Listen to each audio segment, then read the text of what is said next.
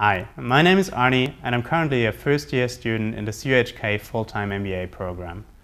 Prior to joining the, the MBA program in Hong Kong, I've been a partner in a film production company back in Germany. After that, uh, I was interning in uh, various management consultancies um, and really appreciated the learning experience I had there. And uh, as a next step for me, um, I wanted to foster and, and uh, this learning experience, and that's the reason why I chose an MBA. Let me now share with you some insights regarding the team learning at CUHK. So, team learning takes place in various dimensions at CUHK and is strongly emphasized, whether it's by the professors in the courses uh, during uh, term projects or uh, by the students themselves, so in um, the student organized clubs on finance or consulting or sales. So various activities are going on. And it's really impressive after, after only three months studying here that we got to know each other so quickly.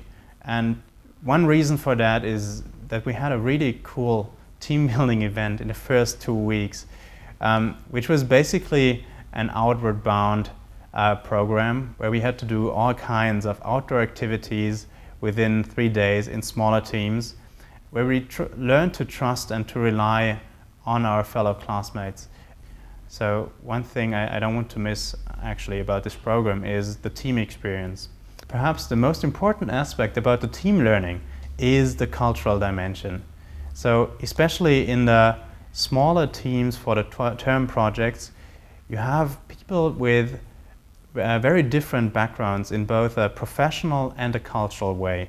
So you have challenging and ambitious targets to fulfill within a short time frame, and that intensifies the learning experience because you quickly get to know um, how your uh, fellow classmates think about topics, how they approach them, and for me, that all brings it down to the cultural learning experience, and I think it's something that you can only experience studying here.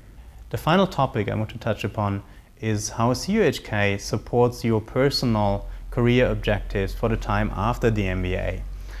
And um, the individual aspect of that is especially important because the team of the Career uh, Management Center takes a lot of time for each of the, the MBA students individually to sit down, try to get to understand your previous experience, and try to support you by giving you advice on how to reach and how to tackle the challenges you've set for yourself for your future career.